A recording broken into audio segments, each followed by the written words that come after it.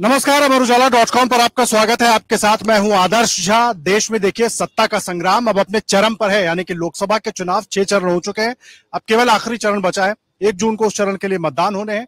जो जो राज्य बचे हुए हैं जो जो लोकसभा क्षेत्र बचे हुए हैं, वहाँ पर हमारी टीम पहुँचने की कोशिश कर रही है, क्योंकि प्रचार कल शाम तक ही होना है। और नेता भी पूरा दमखम दिखा रहे हैं। इन सब के बीच नेताओं के दावे वादों को जनता किस तरीके से ले रही है? पार्टी के जो लोग हैं, जो जनता के बीच जा रहे हैं वो क्या आकलन कर रहे हैं अपनी जीत को लेकर, अपने दावों को लेकर, अपने वादों को लेकर? यही समझने की हम कोशिश कर रहे हैं और इस वक्त हम मौजूद हैं चंडीगढ़ लोकसभा क्षेत्र में। बहुत अहम लोकसभा क्षेत्र है। पंजाब, हरियाणा और चंडीगढ़ को अगर देखें तो कहा जाता है कि चंडीगढ़ में जिस तरीके से विकसित हुआ है, उसी तरह अगर बाकी शहरों को विकसित किया जाता तो शायद परिस्थिति कुछ और होती। लेकिन उसके बाद भी जब चुनाव आते हैं तो बहुत सारे मुद्दे चंडीगढ़ को लेकर उठाए जाते हैं हर पार्टी की तरफ़ से। क्या हकीकत है?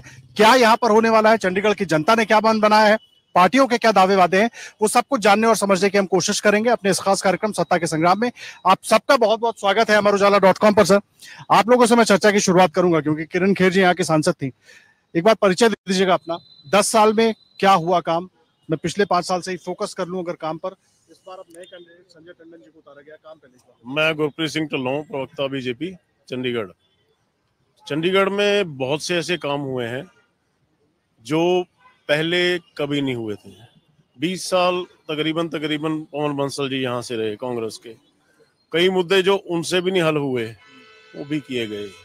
साइकिल ट्रैक्स बने, हॉस्पिटल्स के अंदर डॉक्टर्स की सीटें बढ़ाई गई, पचास से डेढ़ सौ तक की गई बत्तीस सेक्टर हॉस्पिटल के अंदर। अपना चंडीगढ़ की ब्यूटिफिकेशन के लिए काम हुए।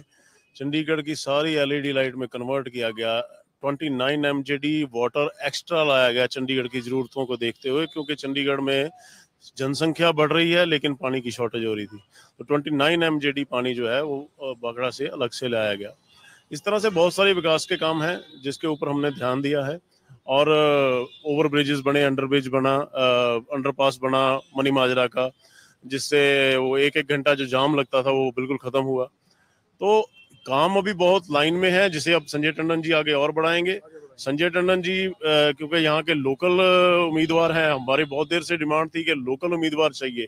संजय टंडन जी, यहीं पे पढ़ाई की, यहीं पे वो बड़े हुए, यहीं पे उन्होंने सीए का अपना कोर्स कंप्लीट किया और सीए एज अ सीए काम करना शुरू किया। उसके बाद पार्टी के अंदर जनरल सेक्रेटरी दस साल तक प्रेसिडेंट देखिए पार्टी के डिसीज़न होते हैं आ, क्या सोचा पहले पार्टी का क्या डिसीज़न रहा उस पर हम चर्चा नहीं कर सकते बिकॉज़ ये तो हाईकमांड का डिसीज़न है। लेकिन हमारी डिमांड बहुत देर से थी कि हमें लोकल कैंडिडेट चाहिए और संजय टंडन सक्षम कैंडिडेट हैं। मोदी जी का मोदी जी का नेतृत्व और संजय टंडन का यहाँ से। विक्रम बाबा हूँ जी प्रदेश प्रवक्ता भाजपा चंडीगढ़। मुद्दे क्या हैं इस बार चंडीगढ़ चुनाव के? एक तरफ़ इंडिया अलायंस है इंडिया अलायंस है एक तरफ़ आप लोग हैं। मुद्दे चंडीगढ़ में क्या है? देखिए चंडीगढ़ अलग परिस्थिति है चंडीगढ़ की। हरियाणा, पंजाब और खुद यूटी है। बहुत सारी चीज़ों में चंडीगढ़ फंसा है। देखिए, चंडीगढ़ में बहुत सारे कार्य हुए हैं, जैसे हमारे बड़े भाई ढिलोजी जी ने बताया।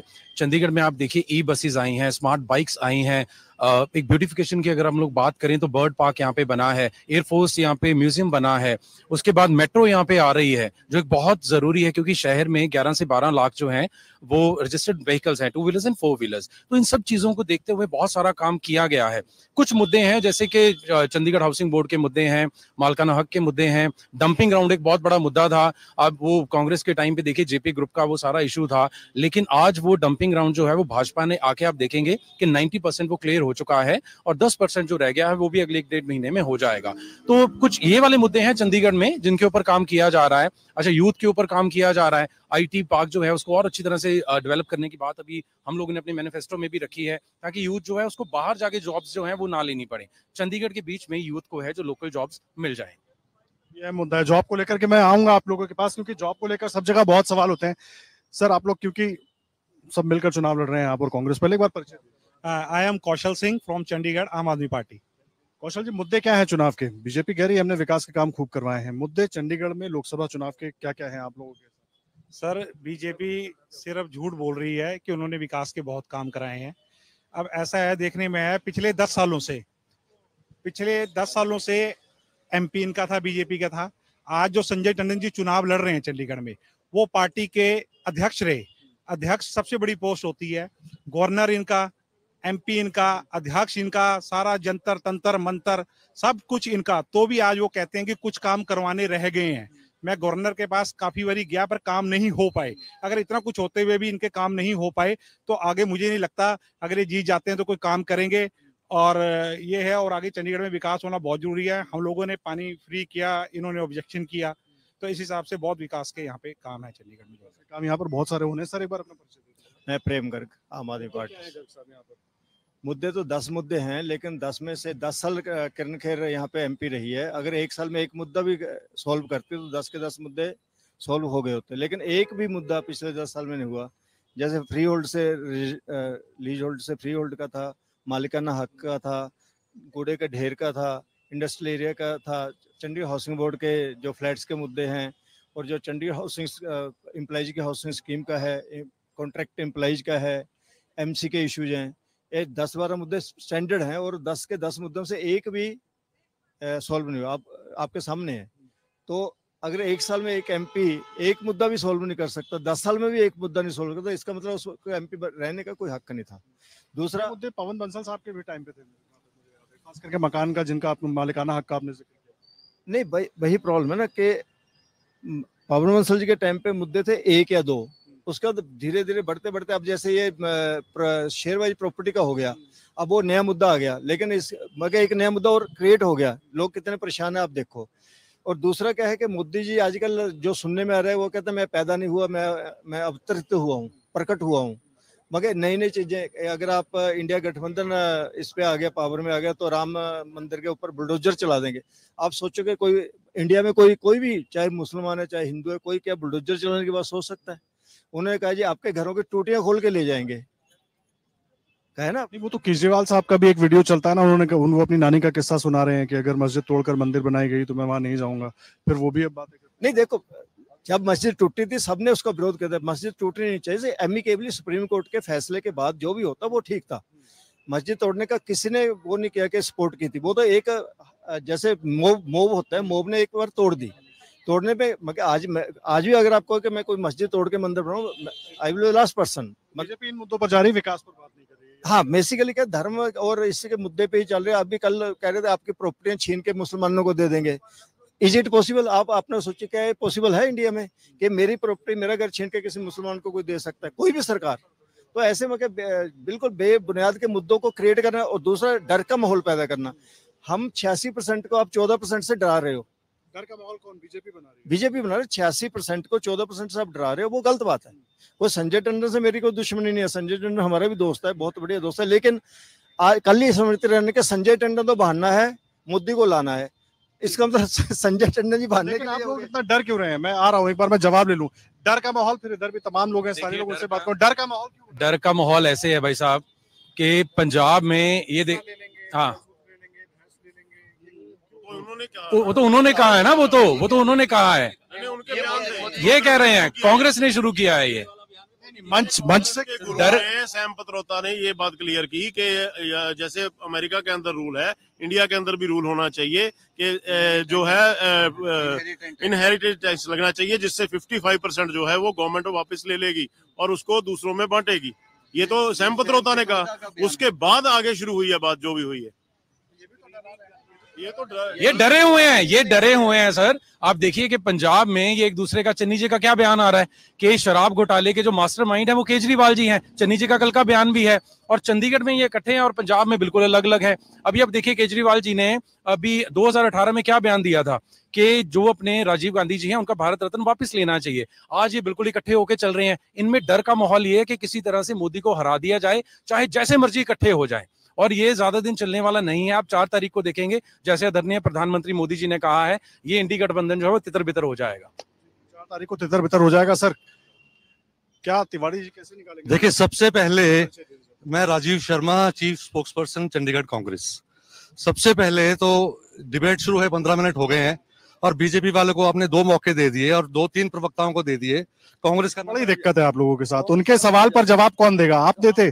कांग्रेस का नंबर अभी आ रहा है। मैं मैं मैं तथ्य आपके अलायंस पार्टनर है। ये कैसा अलायंस है आपका? वो बोल दे तो भी आपको नहीं पछता है। बता तथ्य बता रहा हूँ। चलो लोकल मुद्दे पे आते मैं मैं मैं सच्चाई को सामने लाना चाहता था। अभी आप मुझे बोलने थे गए अभी आप मुझे बोलने देंगे अभी अभी अभी आप बोलने नहीं देंगे अच्छा सुनिए। सबसे पहले मैं चंडीगढ़ के लोगों को आपके थ्रू बोलना चाहता हूँ। मैं चंडीगढ़ के लोगों को आपके थ्रू पूछना चाहता हूँ कि क्या संजय टंडन किसको लेके आए थे? अनिल मसीह को लेके आए थे। संजय टंडन की गाइडेंस में अनिल मसीह ने लोकतंत्र की हत्या की है। उन्होंने चंडीगढ़ का नाम सारी दुनिया में बदनाम किया है। क्या चंडीगढ़ के लोग ऐसे लोगों को लेके आना चाहते हैं यहाँ पे? या वो चंडीगढ़ के लोग साफ़ सुथरे लोगों को पढ़े लिखे लोगों को, जिनके नाम पे डिफेंस में किताबें लिखी गई हैं इंटरनेशनल रिलेशन पे किताबें लिखी गई हैं यूएन के संबंधित किताबें लिखी गई हैं, जिन पे कोई दाग नहीं है, जो दस साल पार्लियामेंट में रह चुके हैं, जिनको पार्लियामेंट में ध्यान से मोदी जी भी सुनते हैं और कुछ कुछ नहीं बोलते और उसको अप्रिशिएट करते हैं। क्या आप ऐसे इंसान को लेके आना चाहते हो? दूसरी बात, भाजपा ने पिछले 19 में छप्पन वादे किए थे। मेरे पास ये चार शीट है भाजपा के खिलाफ। मैं आपको देता हूँ, इसमें से एक भी वादा पूरा नहीं हुआ। ज़ीरो स्कोर है। किरण खेर और संजय टंडन की टीम का चंडीगढ़ में पिछले दस साल से। ये ये जो डॉक्यूमेंट है, ये पाँच साल का है। ठीक है? और हमने हम रिटर्न दे रहे हैं। एक एक उनके मुद्दे में फिफ्टी सिक्स मुद्दे में एक एक पे हमने कमेंट की है। कोई वादा पूरा नहीं हुआ। अभी आपने पूछा सबसे पहले आके कि आपने क्या क्या। किया आपने सुना ना इनको? तो एक छोटा सा गाँव या छोटा सा कस्बा, वहाँ ज़्यादा काम होते हैं। यहाँ दस साल में क्या काम किए उन्होंने आपके सामने है। और दूसरे प्रवक्ता क्या बोले हम ये करेंगे हम ये करेंगे हम ये करेंगे हम ये करेंगे। भविष्य में करेंगे। पीछे दस साल में कुछ नहीं हुआ। तो कितनी देर तक जनता इनका विश्वास करेगी? और लोकतंत्र की हत्या का इन, पे ये भी तो नहीं कह रहे कि जनता आपका विश्वास कर रही है। आप यही कह रहे हैं कि कब तक करेगी। आप ये भी कॉन्फिडेंस के साथ कहिए जनता विश्वास कर हम, हमने हमने अपना बहुत कॉम्प्रिहेंसिव एक मैनिफेस्टो निकाला है जिसमें हम अगले 25-30 साल के लिए चंडीगढ़ के बारे में प्लान तैयार कर रहे हैं। जो जो कानून चंडीगढ़ के विकास के लिए उसको स्लो कर रहे हैं धीरे कर रहे हैं उन सारे कानूनों को बदला जाएगा और नया गवर्नेंस मॉडल चंडीगढ़ में लाया जाएगा जिससे इसका विकास हो सके। ठीक है। एक बार परिचय मैं विनोद जोशी आर्किटेक्ट हूँ यहाँ लोकल आर्किटेक्ट आप किसी पार्टी से तो नहीं है? नहीं नहीं किसी पार्टी मुझे मुद्दे बताइए बात मैं ये कह रहा था भी पंद्रह साल पहले या बीस साल पहले जो हमने डॉक्यूमेंट दिए थे, पवन बंसल जी को, तीनों, उस वक्त तीन पार्टियाँ खड़ी होती थी बीजेपी पवन अपना कांग्रेस एंड एक आप वाली। हमने तीनों को रिप्रेजेंटेशन दी है भाई ये हमारे मुद्दे हैं, व्यापारियों के मुद्दे। अगर सारे वो वापस लेके देख ले हैं, पवन बंसल जी के टाइम पे भी सॉल्व नहीं हुए, और इस वक्त भी सॉल्व नहीं हुए। चंडीगढ़ में सॉल्व करना एमपी के बस का ही नहीं है, चाहे तिवाड़ी साहब करे, चाहे यहाँ गवर्नर रूल है। गवर्नर के पास फ़ाइल जाती है, वो एमओ के पास जाती है दो दो साल वापस नहीं आती। हमारी जितनी डिमांड्स हैं, यहाँ पे पहले तो ऐसा कोई एमपी आना चाहिए जो एमओ से काम करा के लाए। इस लेवल पे हम, हमने जब भी जाते हैं एमपी के पास, मेरा गवर्नर नहीं मानता। जब पवन बंसल जी के सामने वो था, अपना शिवराज पाटिल आया था तो पवन बंसल जी कहते, शिवराज पाटिल मेरी नहीं मानता। जब इसके पास गए तो उनका गवर्नर नहीं मानता। तो ये तो हमेशा यहाँ चंडीगढ़ में डिबेट यही रही है कि वो नहीं मानता वो नहीं मानता लेकिन मुद्दे जब भी जाएँगे एमपी के पास लेके जाएँगे गवर्नर के पास। मैं कहता हूँ चंडीगढ़ में इलेक्शन जो है मतलब पर्सनल कोई ऐसा नहीं इलेक्शन एमपी की बजाय गवर्नर का होना चाहिए जो यहाँ पे काम कर सके। हम तो डेकोरेटिव पोस्ट बन गए। डेकोरेटिव पोस्ट है चंडीगढ़ में डेकोरेटिव पोस्ट है। भाई इसको बुक्का दे आओ उन्होंने हार दे दी फ़ोटो खिंचा लो बस यही है। फ़ोटो खिंचाने के लिए एमपी बहुत अच्छा है। अदरवाइज़ मेरे हिसाब से कोई वर्किंग जो है गवर्नर के पास है। चंडीगढ़ वर्किंग का है। जी। सर आप आगे आइए। मैं थोड़ा देर से आपके पास आ रहा हूँ। देखिए कांग्रेस पार्टी का विपक्ष जानना है। सर जो कह रहे हैं तो किसी पार्टी से है नहीं। लेकिन उनका कहना है कि एक डेकोरेटिव पोस्ट है यहाँ पर एमपी का। तो चंडीगढ़ ऐसा फंसा हुआ क्यों है ब्यूरोक्रेसी के बीच में? मेरा नाम जाहिद परवेज खान है। मैं महासचिव हूँ कांग्रेस चंडीगढ़ प्रदेश में। तो ऐसा कुछ नहीं है एमपी एमपी होता है। ये हम जो मर्ज़ी सोचते रहे कि नहीं है, एक मेंबर पार्लियामेंट मेंबर पार्लियामेंट होता है और ये सारे मेंबर पार्लियामेंट मिलकर एक वहाँ बिल पास करते हैं सदन में। किसी की अहमियत कम नहीं होती। लेकिन आज के दौर में ऐसा लगता है कि कोई मेंबर पार्लियामेंट है ही नहीं, जो असली बात तो ये है। क्योंकि दो तीन आदमी के पास पावर्स हैं, बाकी किसी का पता नहीं लगता। तो मैं ये चाहता हूँ कि ये जो पार्लियामेंट है, वो पार्लियामेंट की तरह काम करे। ऐसा ना हो कि दो ही आदमी काम करते रहे। अब जैसे आज की सरकार में देख लीजिए आदरणीय मोदी जी और अमित शाह जी उसके अलावा कोई नज़र नहीं आता मैं आपको कहूँ जितने भी बड़े लीडर हैं वो नज़र नहीं आ रहे। तो आने वाले बीजेपी का अंदरूनी मसला है ना सर? उससे आप लोग सर ये मसला देश का मसला है बीजेपी का क्यों है सर? हमारे प्रधानमंत्री हैं देश के वो। हाँ सर हमारा देश नहीं है। वो प्रधानमंत्री हमारे भी तो हैं अंदरूनी का सर अंदरूनी मसला कैसे हो गया सर? ये मेरा मसला है। अमित शाह हमारे प्रधानमंत्री मोदी मोदी जी हमारे और अमित शाह जी हमारे गृह मंत्री हैं। वो मेरे क्यों नहीं है? इन्हीं के क्यों है? यही तो मसला है सारा। ये बीजेपी क्यों कहती है हमारे हैं? नहीं नहीं नहीं नहीं नहीं सर नहीं, सर सर, आप प्लीज़ मेरा मतलब कहने का कि जो चुनाव है ना, वो एक तरीका है। उसमें दो पार्टी जो है, वो चुनाव लड़ती हैं। जो जीत गया, वो देश का प्रधानमंत्री है। वो होम मिनिस्टर है। वो ऐसा क्यों सोचता है कि मैं भारतीय जनता पार्टी के लिए काम करूँ या कांग्रेस के लिए करूँ? हमारा तो ये सोच है कि जो अब हो रहा है ना, वो बेटर नहीं हो रहा। पर्सनल सी जगीर बन चुकी है। हर एक आदमी अगर हमारी सरकार, हम क्यों लड़ रहे इस बात की? हमारा इलेक्शन है देश का, हमारी सरकारें नहीं है। सरकार बनेगी बाद में। आज तो हमारा काम है इलेक्शन लड़ना, अच्छे आदमी को चुन के लाना। जो सबके अच्छे आदमी को चुन के लाना अच्छा देश का प्रधानमंत्री बने अच्छा देश का होम मिनिस्टर बने, जो सबकी सुनता हो। जो हमारी छोड़िए अपने पार्लियामेंट की तो सुनता हो, अपने मंत्रियों की तो सुनता हो, अपने एमएलए मंत्री की तो सुनता हो, जब कोई किसी की भी नहीं सुनता, फिर कौन सा मंत्री हुआ भाई? वैल्यू नहीं है आज। हमारे देश में जो प्रॉब्लम ये आ रही है कि जब कांग्रेस सरकार थी तो कोई वैल्यू थी। कोई सारा ठीक था, सब ठीक था। जब से दस साल जो गुजरे हैं हमारे, दस साल में कुछ ऐसा महसूस होने लगा जैसे वन मैन शो हो रहा है वन मैन पार्टी है मतलब उस चीज़ को खत्म करें। चाहे सरकार किसी की वह हमें इतराज नहीं है लेकिन ये जो बीच में से मतलब बीजेपी आ जाए अगर बीजेपी किसी और को पीएम बना दे तो चल जाएगा। नहीं नहीं नहीं नहीं, नहीं हम पीएम की बात सरकार की बात कर रहा हूँ मैं सर। मैं सरकार की बात कर रहा हूँ। सरकार आने से फ़र्क नहीं पड़ता। सरकार देश के लिए काम करे। ऐसा नहीं हो रहा। सरकार पार्टी के लिए काम ना करे। मेरा नाम प्रदीप चोपड़ा है। मैं रेजिडेंट वेलफेयर एसोसिएशन का सेक्रेटरी हूँ। ये जो आज के दिन में चंडीगढ़ में खुल्लम खुल्ला डिक्टेटरशिप चल रही है। गवर्नर साहब कोई काम नहीं करते, कोई काम नहीं होने देते। देखो, पिछले दस सालों में इन्होंने 300 करोड़ से ज़्यादा खर्च दिया स्मार्ट सिटी बनाने में। आप मेरे दो शहर का इतने लोग खड़े हैं, किसी से पूछ लो कि चंडीगढ़ में स्मार्ट सिटी जैसा कोई काम हुआ हो। अभी आप देखो कि पार्किंग का स्कैम हुआ। दो साल, तीन साल लोगों से ठेकेदार पैसे इकट्ठे करता रहा और कोई पैसा कारपोरेशन में जमा नहीं हुआ और जब खुला तो भागे। भागे तो इन्होंने उसकी जो बैंक गारंटी जमा करवाई हुई थी उसको कहते हैं कैश करवाना है बैंक गारंटी को। वो जब बैंक गारंटी इन कैश करवाने गए तो वो फर्जी है। तो इतनी बड़ी लूट दो साल से तुम्हारी कारपोरेशन के ऑफिसर्स तुम्हारे गवर्नर साहब तुम्हारे एडवाइजर तुम्हारे डिप्टी कमिश्नर किसी को पता ही नहीं है कि जनता से पार्किंग का पैसा लूट लूट के मिलजुल के खा रहे हो। हाँ जी। फिर बाकी लोग डिक्टेटरशिप चल रही है राज्यपाल के सर बिल्कुल ऐसा मेरा नाम महेशिंदर सिंह सिद्धू है मैं पार्षद हूँ वार्ड नंबर दो से।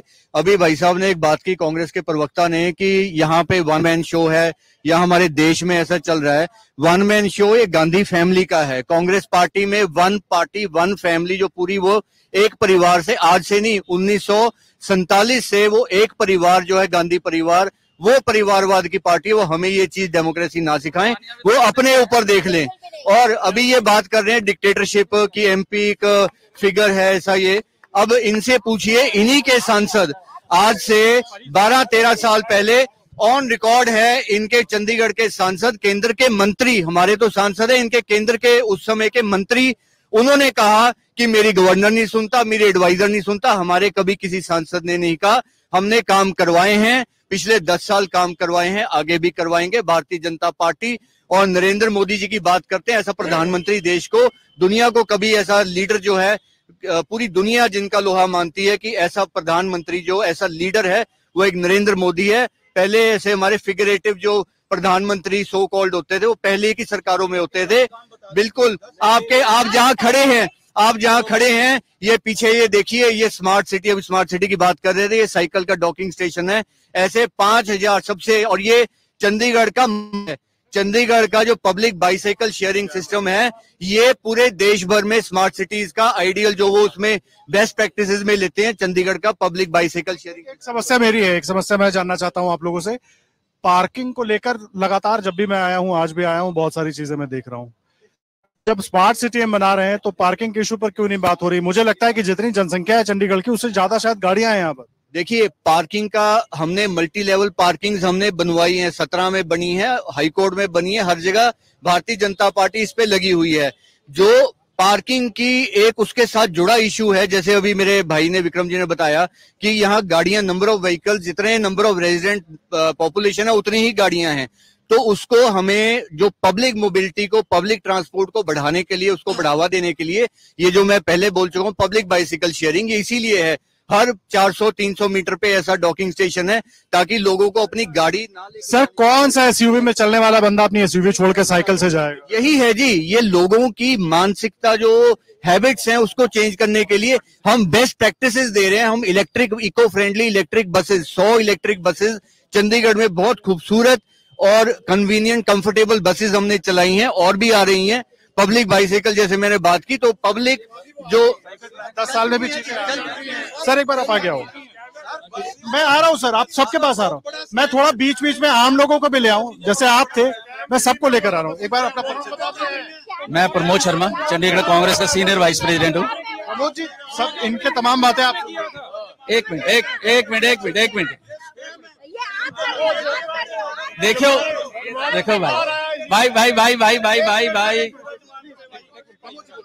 देखो, अमर आपका बड़ा थैंक यू देखिए, इस शहर में सबसे पार्किंग की बहुत बड़ी प्रॉब्लम एक तो है ही। ठीक है, दूसरा यहाँ पे क्या है? एक मिनट एक मिनट लेने दो। अपने अपने मुद्दे पे सब बोल सकते हैं। देखिए, इस पार्किंग का मुद्दा तो यहाँ पे डिस्टर्ब है ही है। इसके बाद क्या है? शहर के लोगों को कुछ जवाब मांगने होते हैं। आप जवाब का आंसर दे दो। 2014 में मोदी सरकार जब आई, हमारे देश में पचपन लाख करोड़ रुपए का कर्जा था। ठीक है जी? मोदी जी कहते हैं हम अठारह घंटे काम करते हैं। बोलते हैं भाई अठारह घंटे काम करते हैं। बोलते नहीं करते हैं। सर आप सुनो ना मेरी बात को जवाब देना ना भाई साहब। आज दो सौ सुनो। आज सुनो सुनो। आज दो सौ आज दो सौ पाँच आज दो सौ पाँच लाख करोड़ का कर्जा हिंदुस्तान पे है। बताइए वो कैसे हो गया? पंजाब पे कितना है? पंजाब को छोड़ो इंडिया यहाँ का जवाब दो। इंडिया में का जवाब नहीं दे सकते। जवाब जवाब ले लीजिए। जवाब ले लीजिए जवाब। भाई साहब, पिछले दस साल में एयरपोर्ट जो है, वो चौहत्तर से डेढ़ सौ हो गए मेट्रो पाँच से बीस हो गई यूनिवर्सिटी वो 400 से 1100 हो गए मेडिकल कॉलेज तीन सौ चौरासी थे 700 प्लस हो गए। नेशनल हाईवेज डेढ़ लाख किलोमीटर ये सारा कर्जा उसमें लगा। हेलो? हाँ जी, मैं प्रकाश ढिलो अपने 20 सेक्टर आरडब्ल्यू के वाइस प्रेसिडेंट हूँ, लेडीज़ विंग की। मैं ये बताना चाहती हूँ, पहले तो अपने सिटी की चंडीगढ़ को फड़ीगढ़ बना दिया गया है। हर जगह पे फड़ी ही फड़ी है और उन फड़ियों वालों से पैसे लिए जाते हैं। कौन लेता है मुझे नहीं पता। दूसरी बात दूसरी बात जो है प्लीज़ एक मिनट चुप कर उसके बाद हमने इनसे नहीं मांगा था कि हमें 24 घंटे पानी चाहिए। 24 घंटे पानी देने के चक्कर में कितने करोड़ लोन उठा लिया, हमारे पानी के बिल बढ़ा दिए। पचहत्तर रुपए में हमने कूड़ा उठवाते थे एफिशिएंटली अब हम दो सौ पचवंजा रुपए में उठाते हैं। हम लोग गरीब, हम पेंशनर हैं, हम लोग कहाँ जाएँ? फिर ये दस साल में अगर इन्होंने कोई भी रूल नहीं बनाया कि मेरे भाई चार हैं, चारों के चारों इक्कीस सेक्टर में रहते हैं उनकी प्रॉपर्टियों की वो रजिस्ट्रेशन नहीं हो रही फ्लोर वाइज वो घर बेचने को जा रहे हम रो रहे हैं। सारी ज़िंदगी में 1965 से इतनी प्रॉब्लम थी तो दो बार कैसे जिता जो नहीं वो वो मजबूरी धोखाधड़ी जो कुछ हुआ। देखिए मेरी बात सुने मैं 65 से चंडीगढ़ में हूँ। That was a beautiful city अब स्मार्ट सिटी के नाम पर ढेरों करोड़ों एक इनको चिराग जो होता है अलादीन का चिराग मिल गया है। कि आप जो स्मार्ट सिटी के लिए लोन ले लो। आप डंपिंग ग्राउंड के लिए लोन ले लो। 24 घंटे पानी देने के लिए लोन ले लो। और कर्जा जो है वो हम चुका रहे हैं। हमें प्रॉपर्टी टैक्स बढ़ा रहे हैं हमारे बिजली के बिल बढ़ा रहे हैं पानी के बिल बढ़ा रहे हैं कूड़ा उठाने के बिल बढ़ा रहे हैं और वो काम नहीं हो रहा। फरीगढ़ बन चुका है। ये चंडीगढ़ नहीं रहा। जो पानी के लिए हमें मैं मैं आरडब्ल्यू के प्रेसिडेंट हूँ ट्वेंटी वन सी की। कमल बराड़ कमल बराड़ हमारे हमारे दूर कहीं जा, कहाँ जाना है ये हमारे से, सेक्टर में ही देख लो। हमने कितनी बार ये फड़ियाँ रेडियाँ उठवाने की कोशिश करी है। ये फिर पता नहीं पैसा लेते हैं कि क्या है। अगर एक ट्रैफ़िक रूल चल सकता है उसका हर एक को हर एक को पता है कि चलान हो जाएगा हमारा तो कोई लाइट नहीं क्रॉस करता। अगर यहाँ भी कोई रूल हो यहाँ भी कोई रूल हो कि इनका चल, चलान हो जाएगा यहाँ इतना गंद ना पड़े। हमारे सेक्टर में चला नहीं जाता बिल्कुल भी। हमने कई बार उठाया है पर कोई इसका हल नहीं हुआ। और मैडम मैडम खेर दस साल से हमने दो बार अपने काउंसलर बनाए हैं। दो बार काउंसलर बनाए अपने सेक्टर में। मेयर सॉरी मेयर बनाए हैं। इन्होंने कोई भी बीजेपी के हमने उनकी सपोर्ट भी करी। हमारा एक काम नहीं और सत्यानाश कर दिया इन्होंने शहर का। ये डर है कि हमारा चंडीगढ़ ना बेच दे। एक बात आप किसी पार्टी से हैं? हाँ किसी पार्टी से हैं आप? कांग्रेस पार्टी तो है। एक एक एक, एक मिनट चुप कर जाओ। हाँ जी सर मैंने मेरा एक क्वेश्चन है। ਚੰਡੀਗੜ੍ਹ ਨੂੰ ਕਹਿੰਦੇ ਸਮਾਰਟ ਸਿਟੀ ਹੈ। ਪਰ ਚੰਡੀਗੜ੍ਹ ਜਿਹੜੇ ਕਿਚਨ ਵੇਸਟ ਗੱਡੀਆਂ ਜਾਂਦੀਆਂ ਹੈਗੀਆਂ ਉਹ ਐਦਾਂ ਲੱਗਦਾ ਕਿ ਕਬਾੜੀ ਦੀਆਂ ਗੱਡੀਆਂ ਚੱਲ ਰਹੀਆਂ ਚੰਡੀਗੜ੍ਹ ਦੇ ਵਿੱਚ। ਕਿਉਂ ਨਹੀਂ ਇਹ ਫੋਰਨ ਦੇ ਬੇਸ ਦੇ ਉੱਤੇ ਗੱਡੀਆਂ ਨੂੰ ਚੇਂਜ ਕਰਕੇ ਇੱਕ ਟਿੱਪਰ ਲਿਆਣ ਜਿਹਦੇ ਨਾਲ 21 ਸੈਕਟਰ ਦਾ ਇਹਨਾਂ ਦਾ ਯਾਰ ਗੱਲ ਕਰ ਸੁਣ ਲਓ। ਐਮਸੀ ਦੀ ਗੱਡੀ ਇਹਨਾਂ ਦਾ ਮੇਅਰ ਹੈ। ਸਾਰੇ ਚੰਡੀਗੜ੍ਹ ਚੱਲਦੀ ਹੈ ਕਿਸ ਕੱਲੇ ਚ ਨਹੀਂ ਚੱਲਦੀਆਂ ਹੈਗੀਆਂ। ਇਸ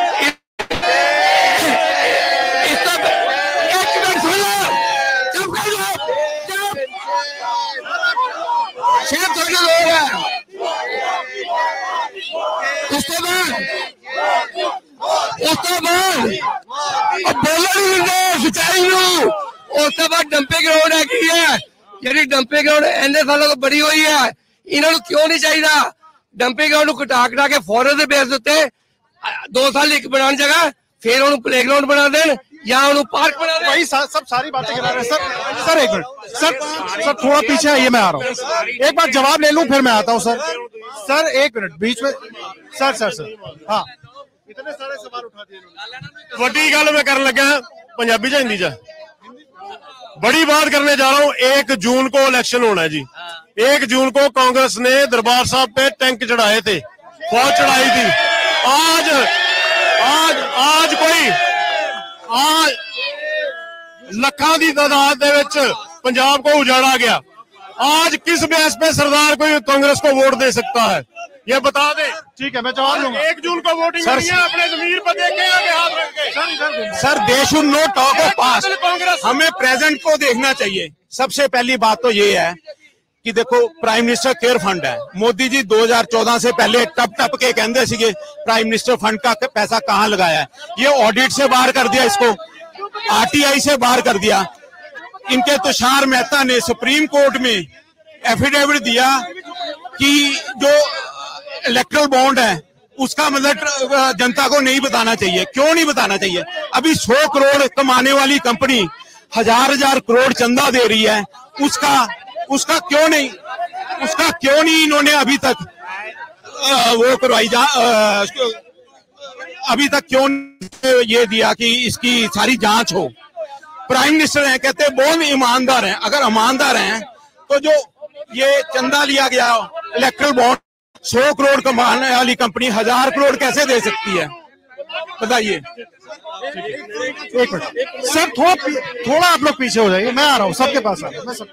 मैं मैं मैं मैं विक, विक्रम चोपड़ा चंडी एक मिनट प्रमोद एक मिनट। मैं विक्रम चोपड़ा चंडीगढ़ टेरिटोरियल कांग्रेस का ट्रेजरर। मैं भाइयों की बात को बड़ा करता हूँ। इन्होंने मेरे भाइयों ने अभी बीजेपी वालों ने ये बोला है भी यहाँ पे हमने जो पहाड़ था कूड़े का पहाड़ वो 90 परसेंट उड़ा दिया 10 परसेंट रह गया है। अगर 90 परसेंट उठ, गया है तो मेरा ख्याल यहाँ के पहाड़ तो फिर कसौली के पहाड़ों से ऊपर होते। दूसरी बात इन्होंने बोली हम मेट्रो लेके आने वाले हैं। मेट्रो आज से पंद्रह साल पहले कांग्रेस के जो हमारे एमपी थे यहाँ से श्री पवन कुमार बंसल जी उन्होंने सारी सर्वे करवा दी थी। और जो मेट्रो तब अगर हज़ार करोड़ रुपए में यहाँ बनती ठीक है वो आते ही इनकी एमपी ने। वो अब सुनता लो सुनता लो भाजी सुन लो ना। आते ही इनकी एमपी ने वो सारा बंद करवा दिया। और उसके बाद जो ये बात कर रहे हैं अभी इन्होंने बात की उन्नीस सौ चौरासी की जो बात छेड़ रहे हैं एक जून की। इस बार के मुद्दे बताइए सर इस बार पे थोड़ा आ जाए हम लोग।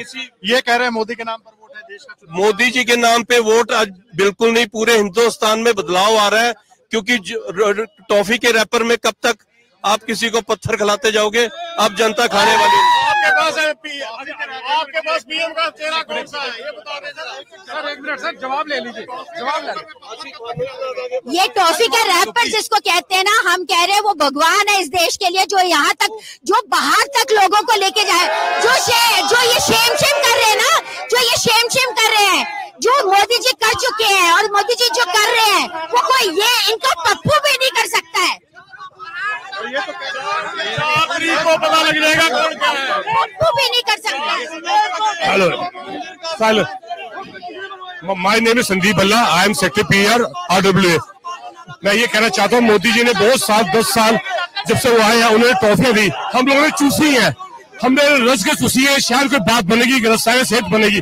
अब इस बार अगर वो आगे वो लोहे की ट्रॉफियाँ दें गोलियाँ जो हमारे दांव तोड़ देगी हमारी सेहत खत्म कर देगी और कुछ नहीं बनेगा। इसलिए हमें बदलाव चाहिए चेंज चाहिए। हम तो कहते मर गए टंडन साहब आठ साल प्रधान रहे हैं और गवर्नर उनका एमपी उनकी वो कुछ नहीं करा सके। अब लोग इतने परेशान है कि किसी भी कीमत उनको चेंज चाहिए। चेंज तो मनीष तिवाड़ी जी देते हैं? चेंज तो मनीष तिवाड़ी जी देते हैं। चेंज करते हैं पहले कानपुर से लुधियाना। लुधियाना से चेंज करके वहाँ काम नहीं किया भाग के अनंतपुर साहब। अनंतपुर साहब से काम नहीं किया भाग के चंडीगढ़। ये होता है चेंज इनका। ये इस तरह की चेंज चाहते हैं। आदर्श जी मनीष तिवारी जी की चंडीगढ़ में वोट नहीं है। क्या ये बता सकते हैं कि लुधियाना में एक तारीख को वो कांग्रेस के कैंडिडेट को वोट डालेंगे या आम आदमी पार्टी के कैंडिडेट को वोट डालेंगे? ये सारे मुद्दे उठा रहे हैं ना ये मोदी को चोर उसको लोकल इशू है एडमिनिस्ट्रेशन के। बसों की हेराफेरी हुई एडमिनिस्ट्रेशन से। किसी एमपी का कोई हाथ नहीं है। पानी की रेट बढ़े उसने एडमिनिस्ट्रेशन ने बढ़ाए। इनको ये तो पता ही नहीं होता है एडमिनिस्ट्रेशन के पास क्या काम है और पॉलिटिकल लीडर के पास क्या काम है। क्या शुभ नाम है आपका? मेरा नाम मोहित महाजन है। मैं कांग्रेस और आपसे एक ही चीज़ पूछना चाहता हूँ। पंजाब में तो ये चित्रो चित्री का है। यहाँ पे आके इन्हें जप्पिया पाली। दिल्ली में भी। ये किस चीज़ का जवाब तो बच्चे इनको वहाँ चित्रो चित्री क्यों आ रहे? हाँ, किस चीज़ का जवाब सत्तर किस चीज़ का जवाब है चित्रो चित्री क्यों है? इस चीज़ का जवाब सर प्रधानमंत्री कहता है सत्तर हज़ार करोड़ रुपए का उसने अजीत पवार ने घोटाला किया और सुबह प्रधानमंत्री स्पीच देता है शाम को उसको अपनी पार्टी ज्वाइन करा के मुख्य उप मुख्यमंत्री बनाता है। यह चंडीगढ़ की बात कर अरविंद केजरीवाल का लीकर स्कैम कांग्रेस ने एक्सपोज किया था। ठीक है मैं जवाब लेता हूँ मैं जवाब लेता हूँ मैं जवाब लेता हूँ। सर इधर है इधर इधर है देखिए। एक एक एक सवाल जो सबने उठाया हालाँकि भाई साहब उस पर सफ़ाई दे रहे थे मेरे भी मन में कि एक एक मिनट नाम एक मिनट।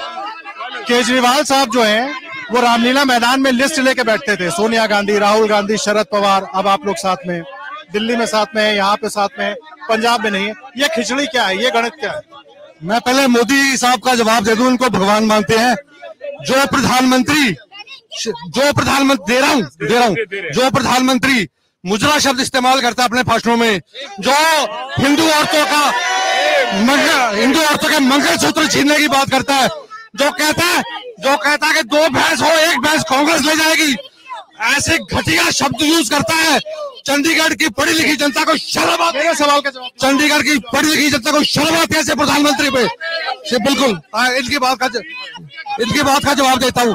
राजनीति है आम आदमी आम आदमी पार्टी हमारे बारे में बोलते थे, हम उनके बारे में बोलते थे। आज सवाल है देश को बचाने का, लोकतंत्र को बचाने का, अपने भविष्य को बचाने का इसलिए हम कट्टे हैं इनकी महिला इनकी महिला मोर्चा अध्यक्ष जो है पास में वो कह रही हैं कि मैं जो कांग्रेस का दफ्तर है वहाँ पे मैं सुरक्षित हमारे हमारे भाइयों हम हम जट फैमिली से हैं। हमारे किसानों को हमारे किसानों को मरवाया। इतनी बुरी हालत करी। साल साल किसान बैठे रहे। उनकी कोई सुनवाई नहीं हुई। हमारे बहन भाइयों के घर उजड़ गए। हम इनको वोट देंगे ये क्या तरीका है मदिया? तो उन्होंने तो माफ़ी माइक माइक मत पकड़िए प्लीज़ माइक मत पकड़िए। मणिपुर में बलात्कार करने वालों को सीटें मिल रही है औरतों की इज़्ज़त उछाल रही है। हम औरतों ये भी तो सवाल उठा रहे हैं कि मुख्यमंत्री के घर सर देखो भाजपा 400 पार का कुलविंदर यादव मेरा नाम है। भाजपा 400 पार का नारा दे रही क्या काउंटिंग के टाइम में अनिल मसीह को वहाँ बैठाने जा रही है भाजपा? अब भाजपा नहीं आप जवाब दो इसका। आप जवाब दो चार सौ पार कैसे करोगे? चार सौ पार में तो चार सौ सीटों में तो आप इलेक्शन भी नहीं लड़ रहे हो? परमजीत सिंह। मुद्दा यह है कि बेसिकली आप, आप कांग्रेस चौक पार्टी है जो कि दिल्ली में अलग अलग है और यहाँ पे इकट्ठी में गई है। इनको लगता है कि इनकी हार हो चुकी है और कल की जो रैली थी प्रियंका गांधी की जो रैली थी वहाँ पे आप देख सकते हो कि वहाँ पर पवन बासल को कैसे उनकी उनकी बेइज्जती की गई और कहा आप और दूसरी उनको बहुत बेइज्जती की गई उनकी। मैं राजन बराड़ हूँ सेक्टर 21 से। मैं मैं पूछना चाहता हूँ कि रानी जी अभी आए हैं ये अभी नहीं कह रहे भी सिलेंडर सस्ता कर रहे हैं। 400 पे तो ये सड़कों पे बैठ गए थे। आजकल क्यों क्या इनकी ज़ुबान सूख गई क्या? हज़ार आया इस बार हज़ार पार अगली बार चार हज़ार पार। चार हज़ार पार होगा सिलेंडर। आप लोग का आप लोग सिलेंडर आठ सौ सिलेंडर आठ सौ तेरह रूपए का कल ही लिया मैंने। आठ सौ तेरह रुपए का। चंडीगढ़ में और उसमें से दस रुपए सब्सिडी मिलती है तो अल्टीमेटली आठ सौ सेंटर से सात सौ नब्बे में सेंटर हुआ कांग्रेस आएगी तो ये महँगाई नहीं नहीं महँगाई बात छोड़िए जो आज वायरल बात हो रही है पार्लियामेंट को आर्मी क्यों लगा दी मुझे इस बात जवाब दे भाजपा खड़े पार्लियामेंट में आर्मी क्यों लगा दी उन्होंने सत्तर साल में पहली बार जवाब दीजिए आर्मी लगा दी। यस ये एक्चुअली ये ये मैडम एक एक मैडम बोल रहे थे एक मैडम बोल रहे थे चंडीगढ़ में इन्होंने गंद कर दिया फरीबाजी कर दी। ये यूपी बिहार के खिलाफ है कांग्रेस के खिलाफ है और ये आपके खिलाफ है। थोड़ा पीछे थोड़ा पीछे आइए आप जवाब दे रही थी। मानसिकता है एंटी पूर्वांचल मानसिकता है ये कह रहे हैं ये आप जवाब हाँ मैं बताता हूँ भाई मणिपुर वाले रुक जाओ सुन लो एक मिनट। ठीक है? उन्हें वहाँ बोलने लग रहे हूँ। रुक जाए एक मिनट एक मिनट रुक जाओ भाई बोलने दे बोलने दे ठीक है?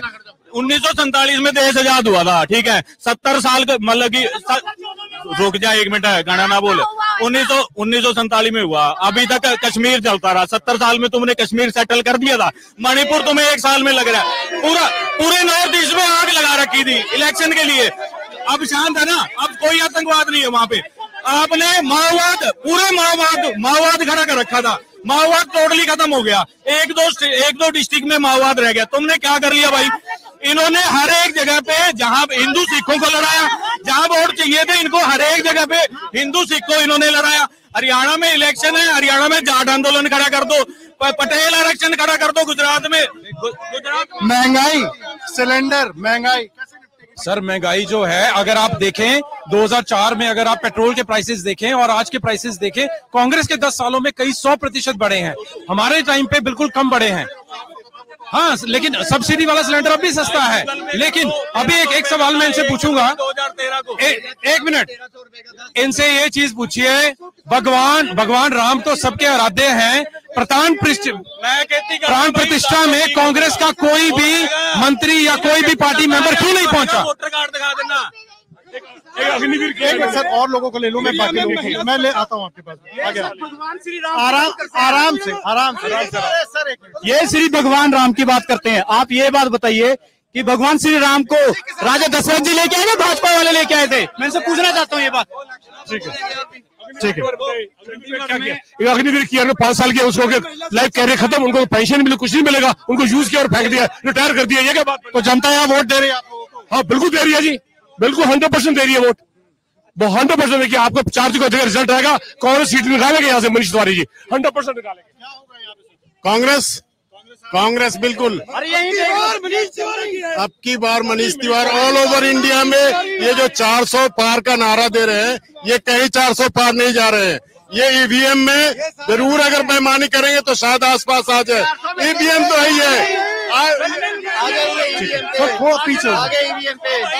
अखीर च अखीर च इन्होंने बहाना लबड़ा सीगा इन्होंने बहाना ढूंढ लिया ईवीएम का जब ये ईवीएम ईवीएम चलाते हैं सब स्पष्ट होता है कि ये हारने जा रहे हैं ये ईवीएम शुरू ही तब करते हैं जब ये पता है कि कांग्रेस को इतना बुरी तरह से हार रही है कांग्रेस को इतना पूछ लीजिए अपनी इनकी पचास सीटें कौन से आने वाली वो तो गिना दें सर कौन बुरी तरह से हार रही है? देखिए ऐसा है। चाहे ये भी मेरे हमारे भाई हैं ठीक है? हम भी मैं चाहे कांग्रेस से ये बीजेपी बड़ी एक हेल्दी डिस्कशन होनी चाहिए और तथ्य पे डिस्कशन होनी चाहिए।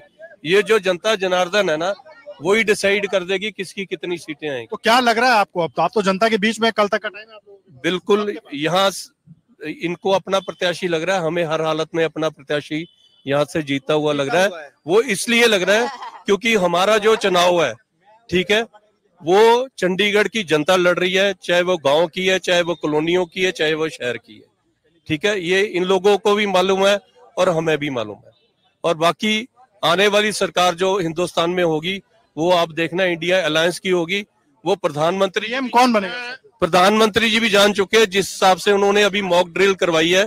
ये जो चीज़ें सारी सेट की जा रही है, किस लिए सेट की जा रही है, वो इनको मालूम है।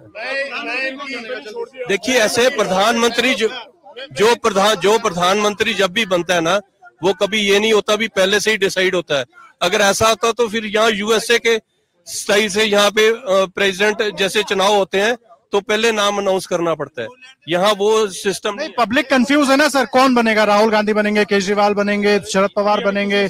कौन बनेगा? पब्लिक में तो समझ जब इंडिया अलायंस के सारे जो जीते हुए प्रत्याशी बैठेंगे वो चुनाव करेंगे। कौन प्रधानमंत्री? एक आप एक आ रहे हैं। और मोदी जी नहीं आ रहे बिकॉज़ सुनने में आ रहा है मोदी दिल्ली बैठ गए ना तो वेस्ट बंगाल जा रहे हैं ना पंजाब आ रहे हैं कहीं नहीं आ रहे हैं। कहीं नहीं आ रहे। अब ए, एक मिनट एक इनकी बात से एक बात से मैं बिल्कुल सहमत हूँ। इन्होंने कहा कि चुनाव जनता लड़ रही है वाकई चुनाव जनता लड़ रही है कि मोदी जी को लाना या मोदी जी को हटाना है। और इनका आज मोदी जी का ही एक मुद्दा है कि नरेंद्र मोदी आज इतनी बड़ी शख्सियत है कि उनके नाम के आसपास चुनाव हो रहा है सारा। और दूसरी बात इन्होंने एक बात कही डेमोक्रेसी की। उन्नीस में तुरंत बाद जब प्रधानमंत्री चुनने की बात आई तो वोटें पड़ी। बारह वोटें पड़ी थी, तीन इनमें कांग्रेस की जो थी, वो नहीं हुई। और 12 की 12 ज़ीरो का रिज़ल्ट निकला। नेहरू को ज़ीरो वोट थी 12 वोटे सरदार पटेल को थी और रिज़ल्ट क्या निकला? नेहरू प्रधानमंत्री। ये है डेमो ना। शुरुआत देश के जन्म के से ही शुरुआत डेमोक्रेसी की हत्या करने की ये लोग करते हैं और उसके बाद इल्ज़ाम दूसरों पे लगाते हैं। आखिरी सवाल चंडीगढ़ आदर्श जी चंडीगढ़ सीट जो है भारतीय जनता पार्टी हमारे जो कैंडिडेट हैं संजय टंडन जी जितना उनको जन समर्थन मिल रहा है हम लोग पूर्ण बहुमत के साथ केंद्र में भी सरकार बनाएँगे और चंडीगढ़ की सीट जीत के केंद्र की झोली में डालेंगे। एक देखिए मैं इनकी इनका एक सवाल का जवाब देना चाहता हूँ। वही पंडित जवाहरलाल नेहरू है जिन्होंने भारतीय जनता पार्टी के अटल बिहारी वाजपेयी जी को अपना हिंदुस्तान का प्रतिनिधि बना के बाहर बहस के लिए भेजा था। इनमें इतनी क्षमता नहीं है। इन्होंने करोड़ों रुपया इन एक मिनट एक एक एक सेकंड ब्रदर मैं बोल मैं बोल मैं एक नहीं ये सब मत करिए। इनो एक मिनट एक मिनट एक मिनट। इनो इन एक मिनट यार एक मिनट। इनो एक मिनट सर एक मिनट।